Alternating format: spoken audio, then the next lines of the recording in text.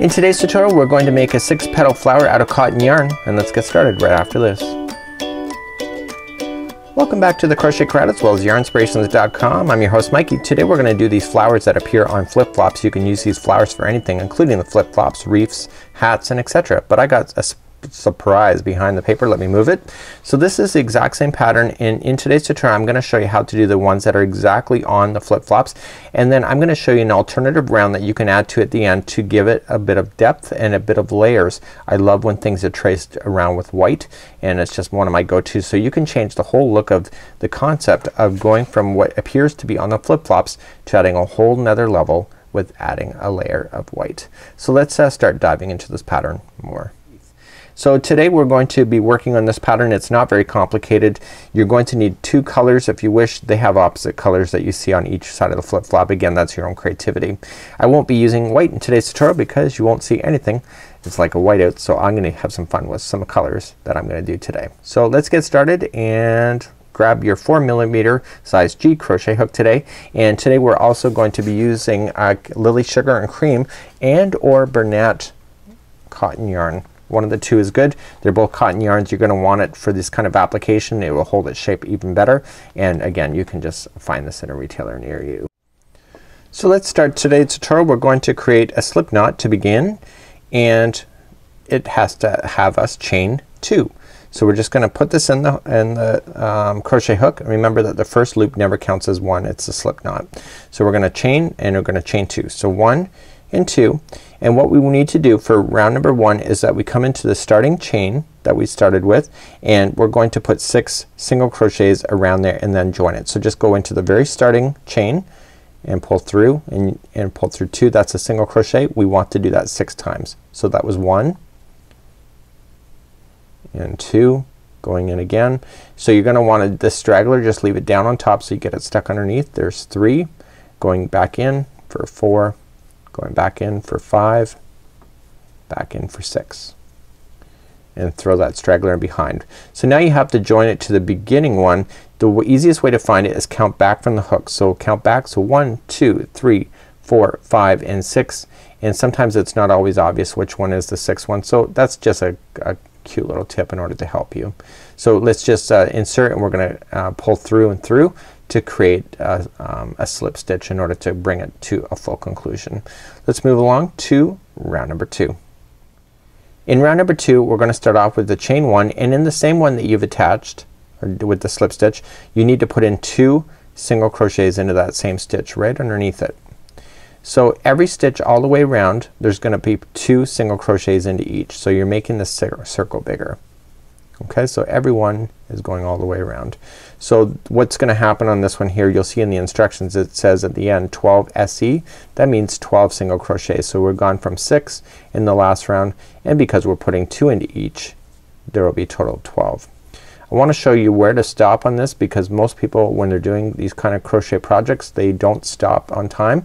So I want you to count. So one set of two, two, three, four, five, and 6. So everybody always thinks this last one here is a stitch but it's not. It's an extension of the first one. So you just have to insert your hook into the very first single crochet and pull it through and through as a slip stitch and see it brings it to conclusion. So a lot of people add an extra stitch there therefore the counts will be completely wrong. We're now gonna finish this color here and we're going to add in another color that we want and we're just gonna trim our yarn about, about 8 inches and I want to just pull it through the loop and I want to pull it through these stitches. So just pull it through and we this is called weaving in the ends. So I'm just using the hook and I'm just going underneath the stitches and then I'm weaving it and I'm doing about four or five of these stitches. Once I'm satisfied with that I'm going to then just cut it and so therefore you'll never see it. Okay, so this is the front end so I want the weave done coming out the back end side so I can now cut it and the starting one that we had I'm gonna cut that out too. So now this is my my middle here. This is rounds one and two. Let's move along. We're gonna start doing the petals. The petals do not take very long at all. So let's begin to do the petals. So the petals are made up of doing each petal individually and then we come back and so we do one and then we come back and do another. So we actually have to fasten off every time we finish a petal. So there are 12 stitches in here. There are six petals. So therefore each petal absorbs two stitches out of the 12. So let's begin. We're gonna start off and we're gonna do to the front loop only. Okay, and we're gonna slip stitch. So there in crochet there's always two strands that are considered one stitch. If you go into the first one it's considered the front loop and if you go into the back one it's the back loop. What they're asking you to do is go into the front loop only and we're going to attach on our yarn with the slip stitch just like this. We're going to chain one and we're gonna put two single crochets into that same stitch. Okay, so just coming in.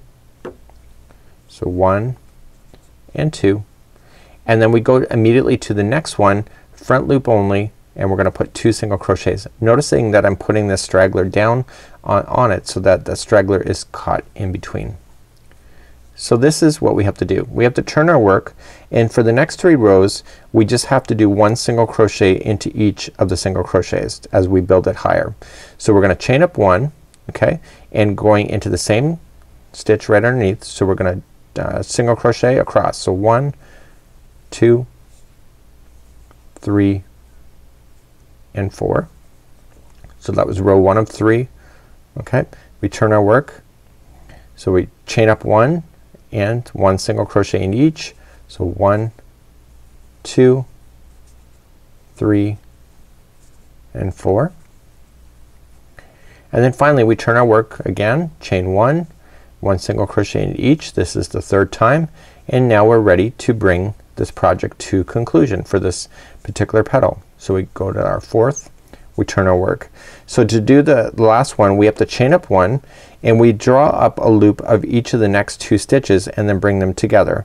So we're gonna come into the first one, draw up a loop and pull up and then we're gonna go into the next one, draw up a loop and pull up. You have three loops on the hook, yarn over and pull through all two and then do the same thing for the next two stitches. So in, pull through, go into the next one, pull through, whoops my apologies for that, in the next one pull through and then you have three loops on the hook pull through all of those and now this is good to go. So now you're done. So we're gonna just trim off this now. We're gonna keep a little bit of an extra long tail here and you're gonna pull through the loop like this and using your darning needle you're going to want to hide this into position underneath so that it never comes out on you. Okay, so I'm grabbing my darning needle now and I'm putting my yarn through it. And all I just want to do is drag this yarn tail three times back and forth. So just going underneath the stitches, pulling it, pushing it through. So there's one. In a different pathway but going in the other direction for two. A different pathway means a different set of fibers so it doesn't fall out on you. And finally going back in the third direction for three. Like this. So that's done. Now you can safely cut that out there and because you were bearing in the first first one underneath the stitches you can physically cut that one out as well. So there's one petal out of six. I'm gonna review doing this one more time. Okay just for kicks I'm gonna use a different color for my next petal. It's the same thing that we've just gone through. We're just gonna do it one more time.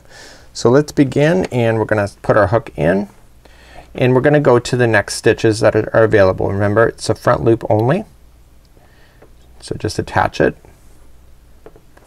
and pull through, chain one and you're gonna do two single crochets into that same stitch. So one and two and then you're gonna go to the next stitch front loop only and, and making sure that this captures underneath and there's gonna be two into that one.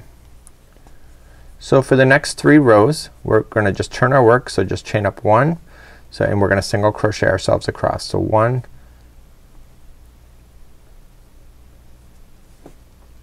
two three and four. So that was one of three. Turn our work, chain one, go into them again. So this is the second crossing. There's only four across turn our work, chain one, and come again. This is the third time. One, two, three, and four. And finally the very last time we just have to then bring it to conclusion. So we chain up one and we yarn over pull through the loop going into the next one pull it through pull through all three loops so that's two together and do it one more time in the next two and pull it together. And then I'm just gonna trim off my work use my darning needle and then hide in my loose ends hide in the loose end and then move on to the next petal. So when I come back I'm gonna just uh, do this off camera. Um, you've seen how I do it. It's that easy to do.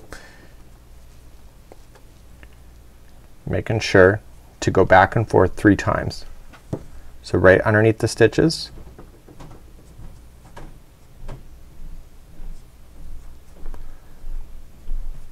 So one, going back and through a different path, two, coming back again for three. And then I can safely trim that out right to the base and I can trim off the other one. And that would be petal number two. So keep moving on and we'll see you back when we have all this completely done.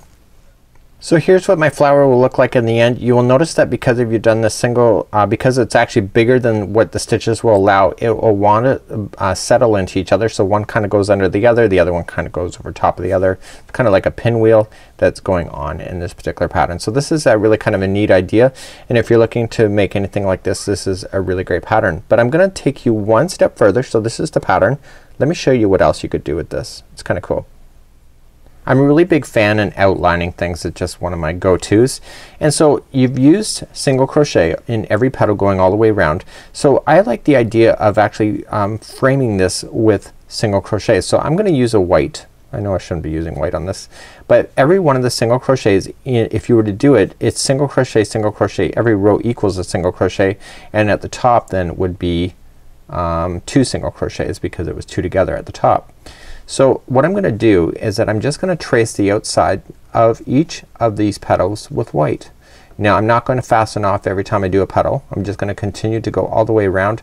So I'm just fastening on now, chaining one, and I'm going to single crochet myself all the way around each one of the petal uh, petals. So I just move up to the next row. See I'm just moving up and I'm keeping down my straggler down there so that it gets stuck and I'm just gonna move myself around these petals using white.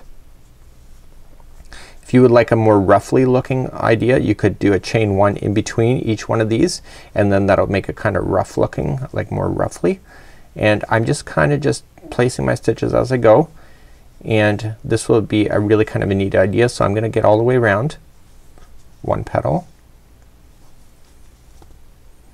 Now if you are going too tight it's gonna buckle in like it's kinda here but again I'm just gonna just play with it later. And then I'm gonna go right into the very last one right underneath and then I'm gonna start the next petal. So just coming right I'm gonna start in the next one that's right underneath and then I'm gonna move up. And the reason why I went all the way down instead of jumping right to the next petal is that these want to kind of sit inside each other like how they're resting. So if you go to the next petal that's gonna interrupt that flow. So you just want to go right down to the base and then restart once again. Okay, so I'm just gonna move up the side. And if you put in an extra stitch here and there, you know what, who's who's really gonna matter, right? So I'm just gonna continue to go. And so now you'll see that it will kind of just want to sit into each other just like this. So continue to do that if you would like to do this and I'll see you at the end of this and you can see what you think of this concept. Um, I just thought about it. I haven't actually done it so I'm doing it live here on camera with you um, to see what I'm gonna think of it and I think it's kind of a neat idea. So try that and I'll see you back here in just a moment and you can judge whether this is for you or not. And remember when you get all the way down go right to the base go to the next base of the next one. So right to where the other petal is sitting into and then start going up that next petal. And I'll see you here in just a moment. So as you get all the way back around I'm just in the base of the next one and I just want to just join it with the slip stitch and then I'm gonna use a darning needle to hide that in. So I'm just gonna pull it through. So I kinda like when I outline things it just is my thing. it may not be for you and of course you can outline it with anything else black or whatever colors that you wish if you would like to do this. Again this is not part of the pattern this is just me uh, just using creativity and just going a little extra. Sometimes uh, in crochet it's always that little bit of extra which gets more likes and more appreciation. So sometimes if you just go that little extra step it'd be amazing. You could do like reefs with this kind of idea too. It's very kind of spring-like. I like the whole color combination. I just kind of just did what I wanted and now that it's in. Back and forth three times. I can get rid of the original string that I buried in as I went. And then all I just gotta do and again I'm doing this live on camera. I haven't done a prototype of this. So all I'm just gonna do now is just kind of stretch things out and whatever and just get everything nice and going just like so. Just kind of repositioning things just like this. And that would be how I would do a flower like this. So if you're interested in this kind of look, um, it's uh, clearly available to you. You just got to trace the outside with some white and you're good to go. Till next time, I'm Mikey on behalf of the Crochet Crowd as well as yarnspirations.com. Have a great day. We'll see you again real soon. Bye bye.